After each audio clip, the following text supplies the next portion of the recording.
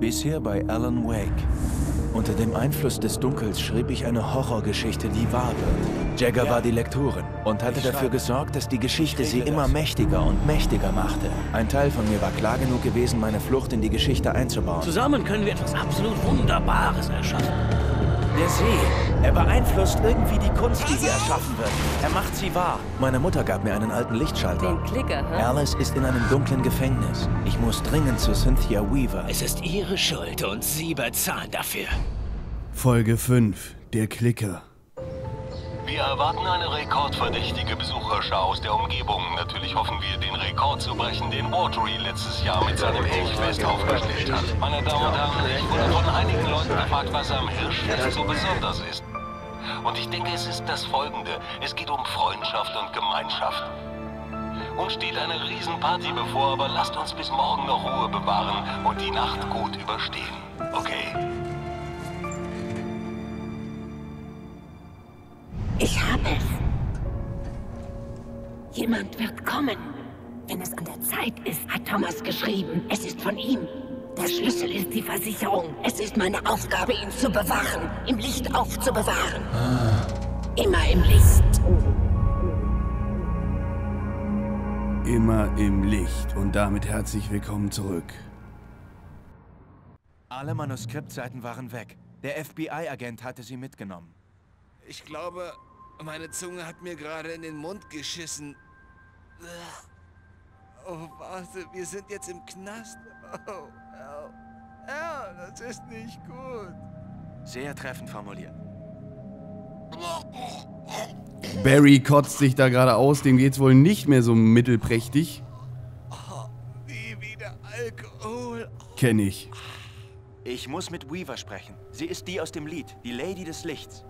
Cynthia Weaver. Was? Die alte Schrulle? Wie du meinst, Elle, aber wir sitzen hier fest. Wir werden uns nicht... Ja nicht mal befragt. Ich musste erst ein wenig lesen, Sheriff. Und ich darf Ihnen sagen, es war eine interessante Lektüre. Tja, jetzt habe ich dich, Raymond Chandler. Es steht alles hier drin, all die Beweise. Auch die für eine Verschwörung zur Ermordung eines Bundesagenten. Aus der Sache werden Sie sich nicht mehr rausreden. Hören Sie mich da drin, Brad Easton Ellis? Na? Agent Nightingale, ich möchte mit Ihrem Chef sprechen. Tja, wir alle wollen etwas, Sheriff. Ich wollte das mir...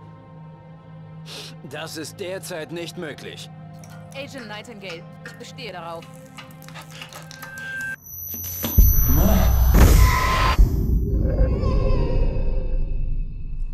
Wake, was ist los? Sind Sie bescheuert? Das ist ein Trick, ein offensichtlicher Trick. Okay, ich habe genug von dem ganzen Quatsch. Wake, ich vertraue Ihnen damit. Ja, klar. Agent Nightingale, Ihre Meinung wäre wichtiger, wenn Sie nüchtern wären. Und wenn ich tatsächlich glauben würde, dass Sie offiziell hier sind. Wow! Los! Zurück in die Zelle, Stephen King! Der einzige Weg, wie Sie diesen Ort verlassen, ist über meine Le Moment mal. Das kenne ich. Das kennt er. Oh mein Gott.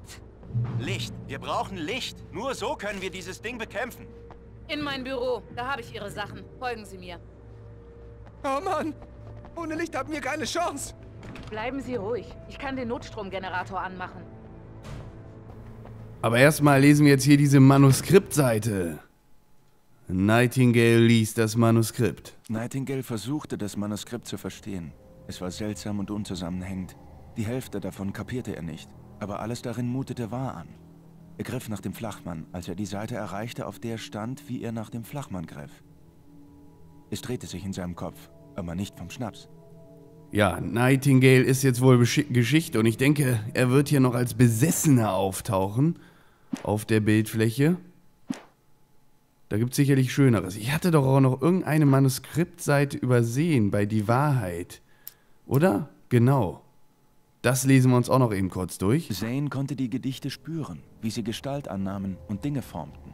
Beim Experimentieren stellte er sich vor, er könne die Macht durch die Schreibmaschinentasten spüren. Es berauschte ihn, erfüllte ihn aber auch mit Furcht. Wäre nicht sein Assistent Emil gewesen, hätte er aufgegeben. Doch Emil überzeugte ihn vom Gegenteil. Auch er war wortgewandt. Ja, eine kleine Geschichte über Thomas Zane, der ja, wie gesagt, scheinbar auch die Rolle des Lichts hier einnimmt, die Rolle dieses Tauchers. Und jetzt dem Sheriff folgen Sarah Breaker, dem Sheriff von Bright Falls. Versucht den Strom wieder anzuwerfen.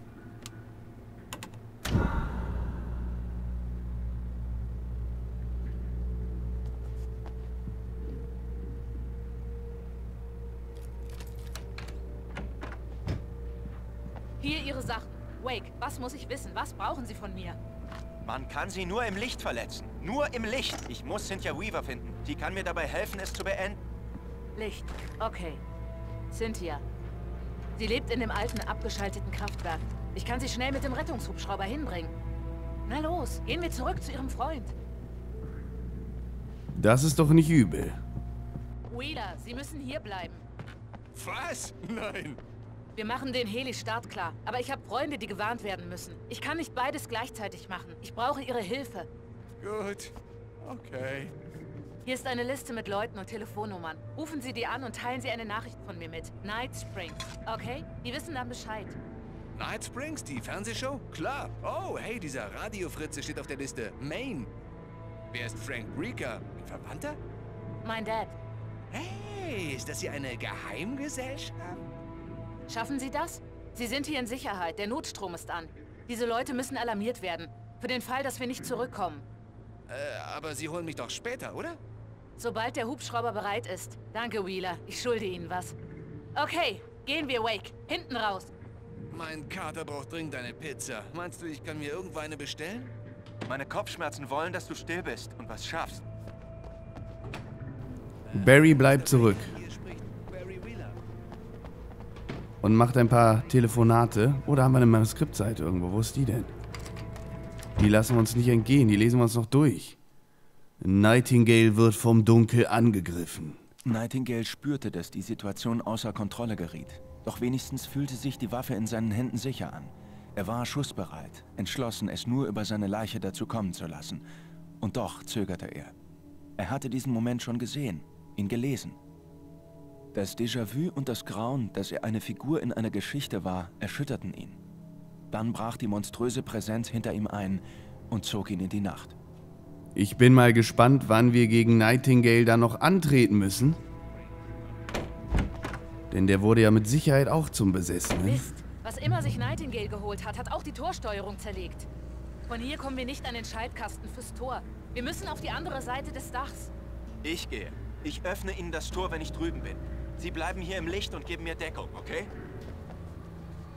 Na super.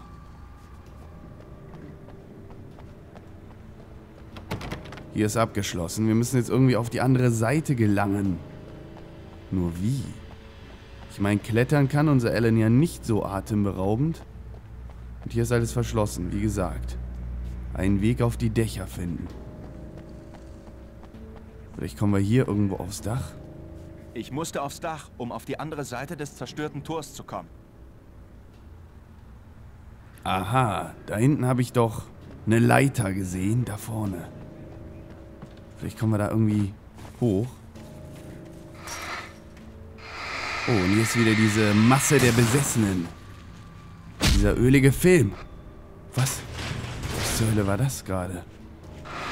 Aha, hier ist auch so ein Zeug. Das verletzt uns auf jeden Fall. Unschön.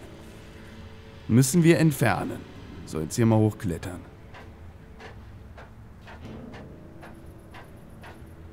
Langsam aber sicher.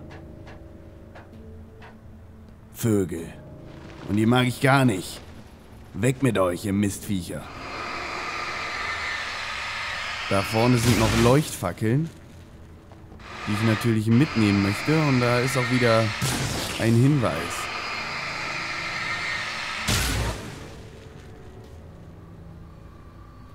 Ja, im Licht können wir sie verletzen, das wissen wir ja bereits. Hier die Leuchtfackel nehmen wir auch noch mit. Und da vorne gibt es äh, frisches äh, Seafood. Seafood. Also Küche aus dem Meer, Fisch und so.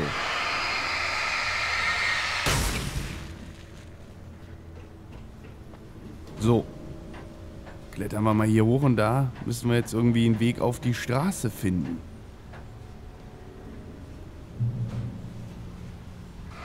Erstmal wieder diese ekelhafte Masse hier entfernen. Und ich warte ja nur darauf, dass uns hier noch Besessene jetzt überfallen. die uns auflauern. Ach du Scheiße. Vögel. Nichts da. Ihr fiesen Viecher. Biester. Ich grille euch. Oh.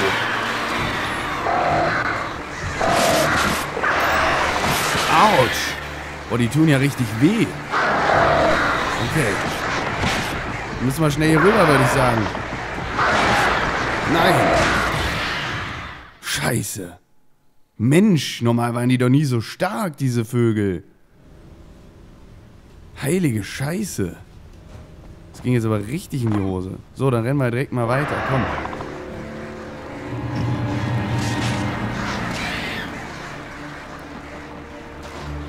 Habe ich mich auch ein bisschen blöder angestellt, muss ich sagen. Schnell hier rüber. Vielleicht kommen wir jetzt hier runter. Ja, benutzen. Komm schon. Bevor die Vögel uns hier dezimieren. Ihr Passwort. Night Springs? Wieso das? Das ist ein dummer Witz bei uns, dass Bright Falls damals die Inspiration für die Fernsehshow war. Diese Stadt ist manchmal sonderbar, aber noch nie so sonderbar. Sie müssen den beschädigten Schaltkasten überbrücken. Sehe ich aus wie ein Elektriker? Moment! Erstmal die Suppe hier entfernen. Vielleicht geht das ja jetzt schon. So, jetzt die Torsteuerung überbrücken. Scheiße. Au! Mist! Das tut weh! Gute Arbeit, Wade. Okay, bleiben Sie bei mir. Unser erster Stopp ist das Rathaus. Da sind die Schlüssel zum Heli. Na super, müssen wir jetzt erst noch zum Rathaus, oder was? Eine tolle Idee, den Heli zu nehmen. Scheiße. Und los geht's.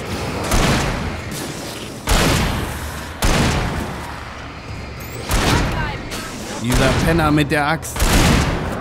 Und noch ein Penner mit der Axt. Komm schon, Sarah, räum mal ein bisschen mit auf. Oh Backe, oh Backe, oh Backe. Wechsle mal gerade wieder auf den Revolver.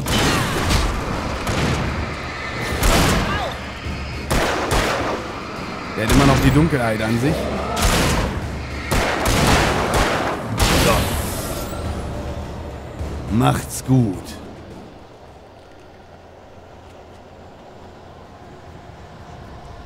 Und jetzt weiter durch die Stadt Bright Falls.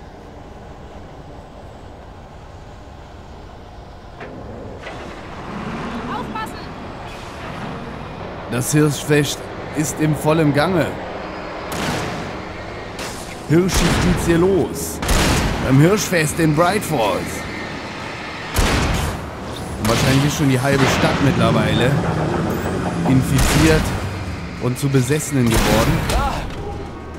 So, jetzt erschieße ich auch mal hier ein bisschen. Komm. Habe ich dem schon die Dunkelheit entfernt? Nee, hatte ich nicht. Ach du Kacke. Scheiße, Mann. Boah, danke, Sarah. Wechsel mal die Batterie. Damit wir hier auch ein bisschen unterstützen können. Und nicht nur der Sheriff hier den ganzen Job macht.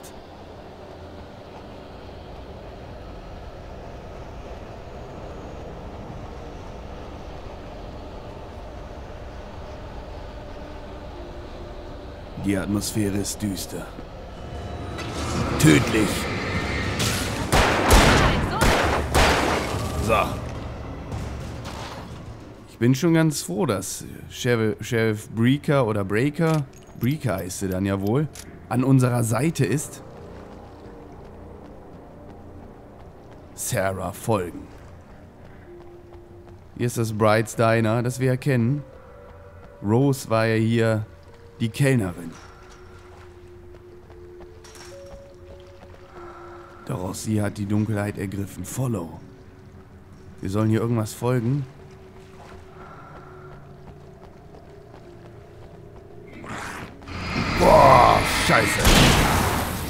Junge, Junge. Junge. unhöflich. Revolvermunition. Können wir mitnehmen.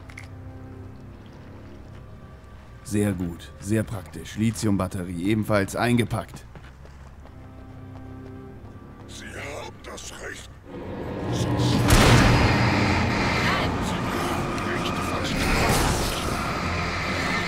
Das ist doch irgendein Kopf. Verdammte Scheiße.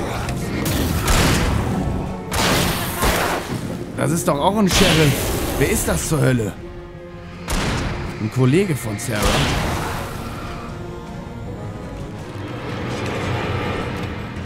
Komm schon, Batterie wechseln und dann grillen. Bams.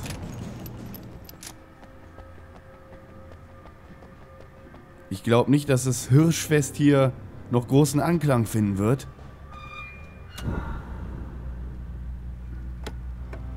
Mal kurz hier die Revolvermunition mitnehmen und die Batterien. Kann auch gut sein, dass ich da schon eine Manuskriptseite übersehen habe. Aber irgendwie habe ich es im Blut, dass uns jetzt in Kürze Nightingale, der FBI-Agent, hier als Besessener angreifen wird. Und ich glaube, der könnte hart werden.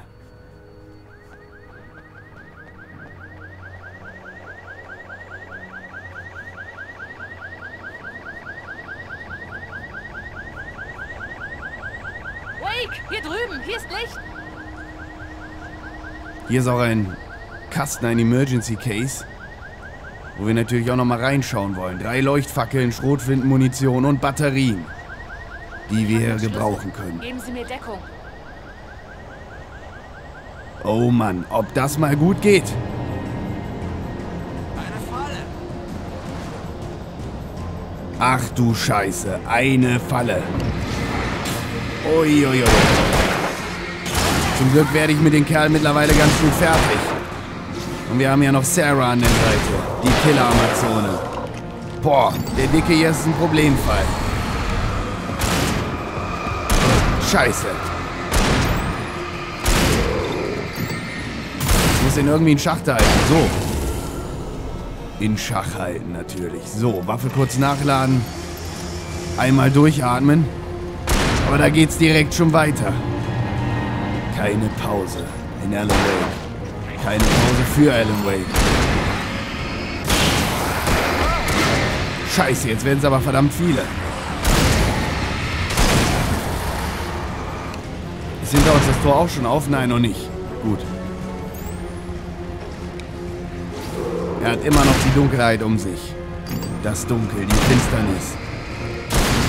So. Jetzt drauf auf den Motorsägen Heini. Ja, Mann. So, der wäre jetzt Geschichte. Und der andere Kerl auch. Puh. Da bin ich ja mal gespannt, wie es jetzt hier weitergeht. In der nächsten Folge. Bis dann, Freunde.